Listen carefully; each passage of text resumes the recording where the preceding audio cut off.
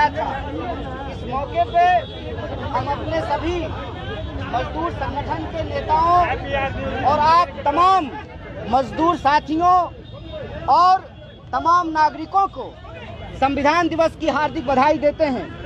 साथ ही साथ 26 नवंबर को बम्बई में, मुंबई में जो आतंकवादी घटना हुई थी, जिसमें हेमंत करकरे सहित कई पुलिस कर्मियों की शहादत हुई, आम लोगों की जाने गई। उनके प्रति उस दर्दनाक, शर्मनाक कार्रवाई के खिलाफ, आतंकवाद के खिलाफ जो हमारे देश के जवानों की शहादत हुई, उनको अपनी श्रद्धांजलि देते हैं। आज संविधान दिवस के मौके पर पूरे देश के मजदूरों ने और पूरे देश के किसानों ने आम नागरिकों के समर्थन से पूरे देश में मजदूर कानूनों के के द्वारा, कानून के नाम पर जो मजदूरों के अधिकारों को छीना गया है, किसान बिल के नाम पर जो किसानों के अधिकारों को छीना गया है, उसके खिलाफ पूरे देश में प्रदर्शन हो रहा है और इस मौके पर विभिन्न मजदूर संगठन के लोग, किसान संगठन के लोग और विभिन्न राजनीतिक पार्टी के लोग समर्थन में, पटना में प्रदर्शन कर रहे हैं। प्रदर्शन में शामिल हुए आप तमाम लोगों को हम हार्दिक बधाई देते हैं और विशेष रूप से इस बात की बधाई देते हैं कि परीक्षा का ध्यान रखते हुए, क्योंकि बहुत सारी परीक्षाएँ हो रही हैं और शादी विवाह का वक्त है, उसको ध्यान को रखते हुए कि आम लोगों को तकलीफ़ भी ना हो और हमारी आवाज़ भी सरकार तक पहुँचे। ये प्रदर्शन आपने किया। इसके लिए विशेष धन्यवाद।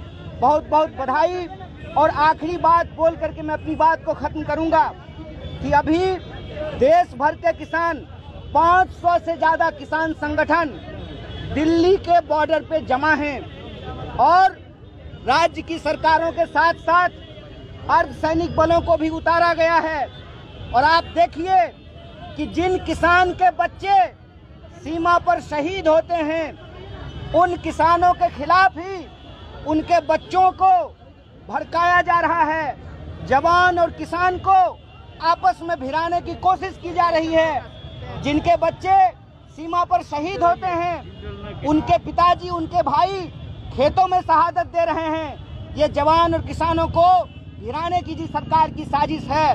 संविधान दिवस के इस मौके पे जहाँ देश को ज़रूरत है कि जय जवान, जय किसान और जय संविधान के नारे को बुलंद किया जा सके। उस देश में किसानों को और जवानों को आपस में लड़ाने की कोशिश की जा रही है। और जिनके बच्चे गोलियाँ खाते हैं, उनके ऊपर वाटर कैनन चलाया जा रहा है। इस सर्दी में सरा हुआ पानी उनके ऊपर डाला जा रहा है।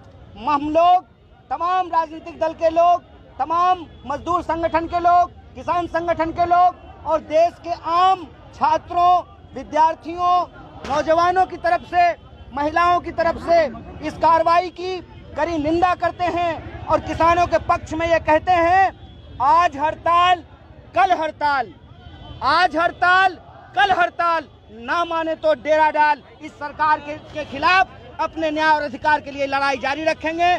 बहुत बहुत धन्यवाद बहुत बहुत शुक्रिया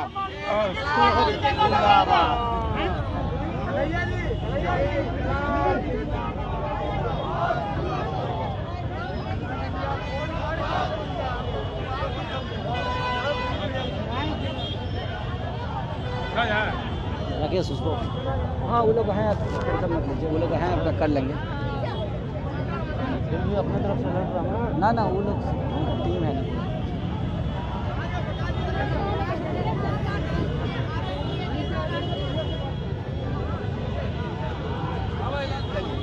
ना अभी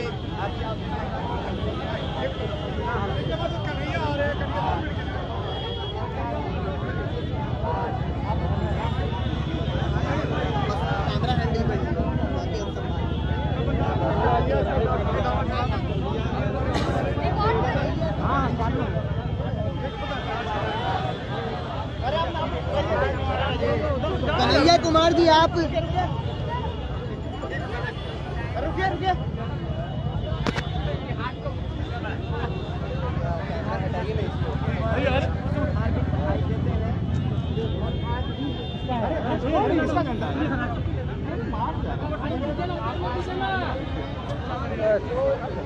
झंडा मुँह पे जा रहा है करकरे सहित कई पुलिस आम लोगों की जान गई थी।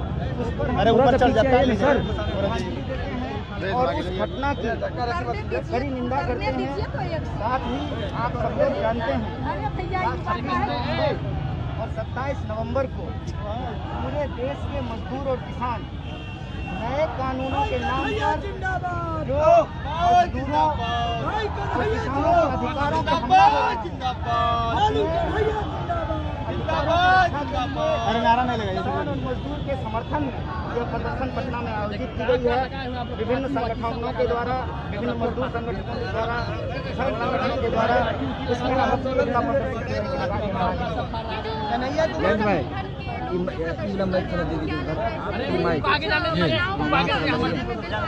देखिए हम लोग यही नारा लगाते हैं। आज हड़ताल कल हड़ताल ना माने तो डेरा डाल। हम लोग अपने हक अधिकार के लिए लड़ने वाले लोग हैं। हम जीतेंगे कि नहीं जीतेंगे, ये समय की बात है। लेकिन मुझे लगता है कि न्याय के लिए, अपने अधिकार के लिए, अपनी आवाज़ को हम लोगों को बुलंद करते रहना चाहिए। जब अंग्रेज़ों को 200 साल की गुलामी के बाद देश की जनता इकट्ठा होकर के भगा सकती है तो ये तो हमारी चुनी हुई सरकार है।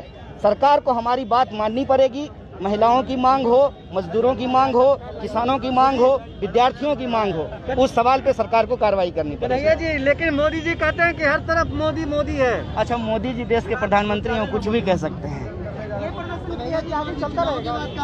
देखिए आज मजदूरों का है और आज किसान संगठनों ने भी दिल्ली चलो का नारा दिया है। कल किसान संगठनों का है। किसान संगठनों ने कहा है कि सरकार या तो शांतिपूर्ण तरीके से प्रदर्शन करने दे, हमारी मांगों को माने और कानून के सुधार के नाम पर हमारे अधिकारों को ना छीने। अगर सरकार नहीं मानेगी तो आज हड़ताल, कल हड़ताल, ना माने तो डेरा डाल, किसान डेरा डालेंगे और किसान हमारे देश के अन्नदाता हैं। किसान के ही बच्चे सीमाओं पे खड़े होकर के देश की रक्षा करते हैं। और आज उन्हीं जवानों को जो किसान परिवार से आते हैं, उनके ऊपर वाटर कैनन चलाने के उनके ऊपर डंडे चलाने के आदेश दिए गए हैं। ये किसानों को और जवानों को आपस में भिराने की साजिश है। और संविधान दिवस के मौके पे एक बार फिर से हम उस नारे को याद करते हैं। जय जवान जय किसान जय संविधान। पंजाब और हरियाणा के किसानों को दिल्ली घुसने नहीं दिया जा रहा है। देखिए आंदोलन ही एकमात्र रास्ता है। देश में जिस तरीके से अलग अलग वर्ग समुदाय के लोगों के अधिकारों के ऊपर हमला किया जा रहा है हम तमाम लोगों को अपनी सुख सुविधा को छोड़ करके सड़कों पे उतरना पड़ेगा। कहा जाता है बहुत सारे लोगों ने यह बात कही है संसद की कार्रवाई तभी ठीक होती है जब सड़क पर जनता होती है। सत्ता पक्ष के लोग बार बार ये बात कह रहे हैं कि बिल किसान के हित के लिए। बिल बिल के मदद से कहीं भी अपना फ़सल बेच सकते हैं? देखिए तो किसान किसान सिर्फ़ एक बात कह रहे हैं। देखिए देश के प्रधानमंत्री हैं। देश ने उनको बहुत प्यार किया है। वो कहते हैं कि वो किसान के हितैषी हैं। तो यह बात लिख देने में क्या समस्या है उस बिल में? कि अगर एमएसपी से कम पर खरीद होगी तो उनके ऊपर जो लोग खरीद करेंगे, कार्रवाई की जाएगी। ये एक लाइन लिख देने में क्या समस्या है? किसान सिर्फ़ इतना मांग कर रहे हैं कि नई व्यवस्था हो या पुरानी व्यवस्था। हमारे साथ जो शोषण होता है, हमारे फ़सल का जो उचित दाम नहीं मिलता है, उन उसको सुनिश्चित किया जाए। लेकिन बिचौलियों को खत्म करने के नाम पर जो छोटे बिचौलियों हैं, उनको तक समाप्त कर दिया जाएगा। लेकिन देश का जो सबसे बड़ा बिचौलिया है जिसका हाथ देश के प्रधानमंत्री के कंधे पे है, उसके हितों को सुरक्षित कर दिया जाएगा।